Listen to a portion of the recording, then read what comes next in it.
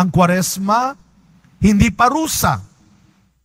Ang kwaresma, biyaya. Amen?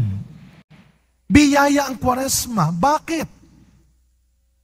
Ngayong panahon ng kwaresma, muli tayong tinatawag ng Panginoon. Ngayong kwaresma, maniwala ka.